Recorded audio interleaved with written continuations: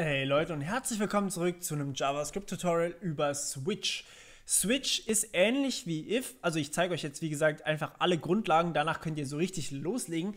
Mit Switch kann ich quasi dasselbe machen wie mit diesem if auch, nur teilweise eleganter.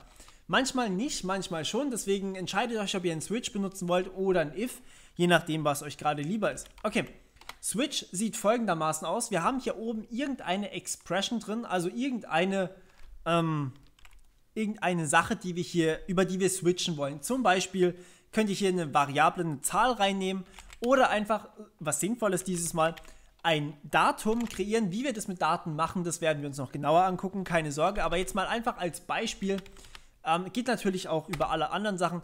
NewDate.getDay liefert uns Zahlen zwischen 0 und 6 ähm, wobei 0 der Sonntag ist, 1 Montag, 2 Dienstag und so weiter und so fort. Also nicht so, wie wir es kennen würden, aber ähm, man kann drauf kommen. Okay, und jetzt können wir hier sagen, okay, falls hier eine 0 bei rausgekommen ist, haben wir einen Case 0.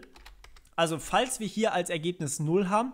Und da können wir dann noch einfach sagen, wir speichern dieses newDate.getDay in eine Variable und dann haben wir hier if Variable gleich 0, if Variable gleich 1, if Variable gleich 2 und so weiter und so fort.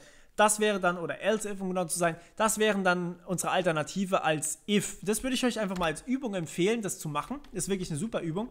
Und jetzt machen wir das Ganze mit einer Switch Case. Okay, ähm, falls also unser Datum, unser Tag der nullte Tag ist, dann sagen wir window.alert Heute ist Sonntag. So, und jetzt brauchen wir was Wichtiges hier hinten dran. Das braucht man nur wirklich hier gerade. Ähm, die anderen Anwendungen zeige ich euch dann noch. Aber bei if oder sowas gibt es dieses Break-Statement nicht.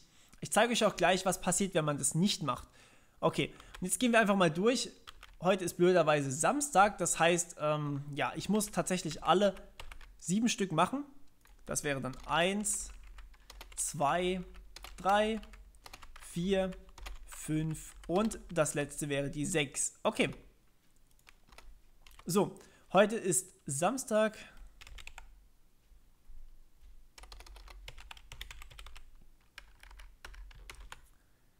Freitag, Donnerstag, Mittwoch, Dienstag und Montag. Okay. So, wenn ich das jetzt ausführe, dann bekommen wir hier jeweils eine angepasste Meldung. Heute wird uns angezeigt, heute ist Samstag, was auch tatsächlich stimmt. Heute ist tatsächlich Samstag. Und das bedeutet, unser Switch hat hier funktioniert. Jetzt, was passiert, wenn ich dieses Break nicht mache? Ich mache mal diesen Case 6 weiter nach oben und lasse hier mal das Break raus. Schauen wir mal, was jetzt passiert. Ob ihr versteht auch, was passiert. Also diese 6 nach oben, die Reihenfolge ist völlig egal, die muss nicht geordnet sein aber es wird natürlich von oben nach unten durchgeprüft und vor allem bei dem Break macht es einen Unterschied, wie die Reihenfolge ist. Schauen wir uns mal an, heute ist Samstag, okay, heute ist Sonntag. Hä, was ist jetzt gerade passiert?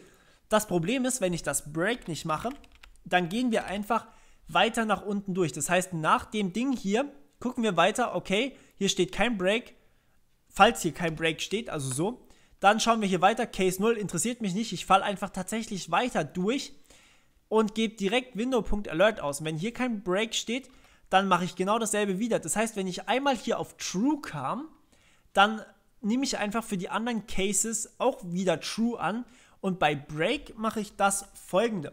Wenn ich einen Break sehe, dann springe ich ans Ende unserer Schleife oder unseres Statements, je nachdem, was wir haben.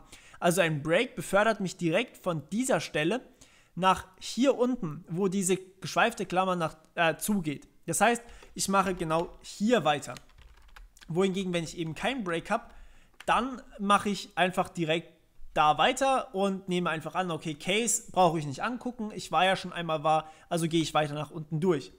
Ist natürlich nicht so praktisch, deswegen wird man hier meistens einen Break brauchen, aber wenn ich zum Beispiel durchgehe und sage, wie viele Tage hat mein Monat, dann kann ich hier erstmal sagen, ähm, oder was für ein Monat ist es und ich möchte ausgeben, was für Tage oder wie viele Tage der Monat hat, dann kann ich hier erstmal durchgehen und sagen, Case Januar, Case März, Case Juli, August und so weiter und so fort. Und dann eine Ausgabe 31, da brauche ich dann keinen Break haben, denn ich falle ja durch. Das heißt, ich habe dann sowas dastehen. Case, bla bla bla. Und dann erst gebe ich was aus, dann habe ich meinen Break und dann habe ich meine anderen Cases, die halt die zweite Ausgabe brauchen und die geben was anderes aus. Und ja, so macht es dann tatsächlich auch Sinn, warum man keinen Break brauchen würde. Aber in den meisten Fällen werdet ihr wahrscheinlich einen Break brauchen. Gut, soviel zum Switch Case. Ähm, so funktioniert das Ganze. Ist wie gesagt sehr ähnlich wie die if-Abfrage. Allerdings haben wir noch eine Sache und zwar das Default. Nehmen wir mal an, wir haben hier nicht irgendwas Fixes von 0 bis 6, sondern es kann auch noch bis 1000 hochgehen, weil irgendwie der User irgendwas eingegeben hat. Dann macht man normalerweise hier unten einen Default-Fall hin und dieser, hm, dieser Default-Fall, der braucht natürlich keine irgendwie weitere äh, Case-Vergleiche, sondern Default ist einfach quasi unser Else. Das heißt, wenn ich hier ein Default habe, dann gebe ich einfach was aus und danach brauche ich auch keinen Break mehr, weil danach bin ich ja so oder so fertig. Default sollte auch immer ganz unten stehen, also nicht weiter oben, denn Default wird immer wahr. Und ihr wisst ja, wenn was wahr geworden ist, danach prüfe ich nicht mehr. Okay, also hier zum Beispiel Default, äh, Window.alert, irgendwas ist schiefgegangen oder sowas. Keine Ahnung, könnt ihr euch dann aussuchen. In dem Fall braucht man das nicht, weil es geht ja nur um Ausgaben von 0 bis 6. Mehr gibt es ja gar nicht. Gut, wie gesagt, ich würde euch einfach mal empfehlen, das hier als if ähm, Abfrage umzuschreiben und damit Spaß zu haben. Okay, wir hören uns beim nächsten Mal. Bis dann. Ciao.